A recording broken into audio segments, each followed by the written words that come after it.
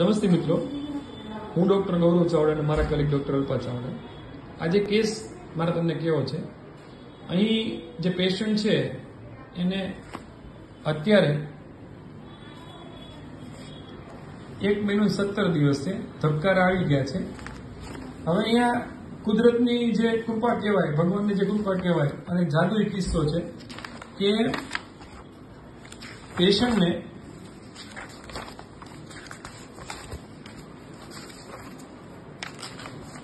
ઈંડા ઓછા બને છે, એકાદ જ અને બને છે.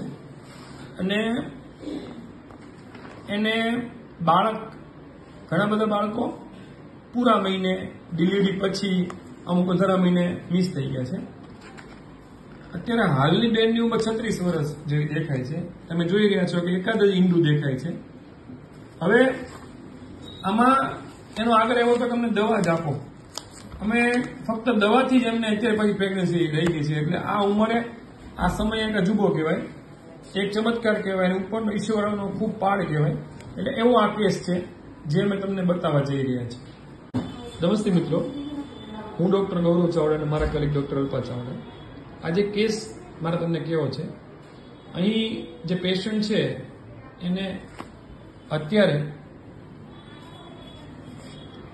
એક મહિનો સત્તર દિવસ છે, ધબકારા આવી ગયા છે.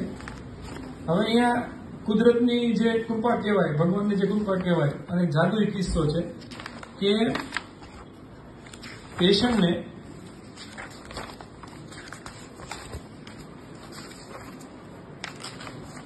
ઈંડા ઓછા બને છે એકાદ જ અને બને છે.